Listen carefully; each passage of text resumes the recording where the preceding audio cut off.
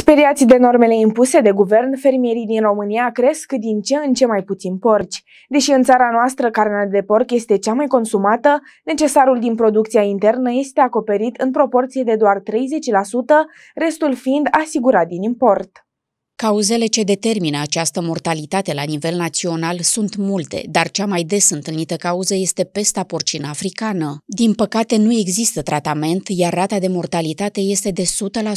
În județul Mehedinți nu mai există niciun focar activ de pestă porcină în ferme. Principalul rezervor al virusului este fără îndoială zona silvică unde mulți dintre mistreți sunt infectați. La mistreții cu pestă porcină africană rata de mortalitate este ceva mai redusă decât la porcul porcul domestic. Pesta porcină africană reprezintă un pericol ridicat de contaminare pentru porcii domestici și mistreți. Boala este cauzată de un virus foarte rezistent în mediu și în alimente. Aceasta poate rezista 6-10 zile în materiile fecale, iar până la 3-6 luni în produsele din carne de porc, care este netratată termic și mai mulți ani în carnea de porc congelată. Important este faptul că această boală nu se transmite de la animale la om.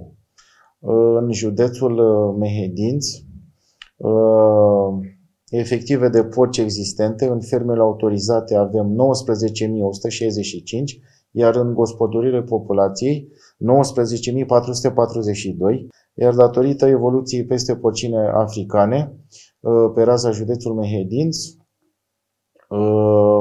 au murit în jur de 306 porci. Pesta porcină poate rezista până la 36 de luni în produsele de carne de porc. Din cauza acestui virus, în județul nostru au murit în jur de 300 de porci.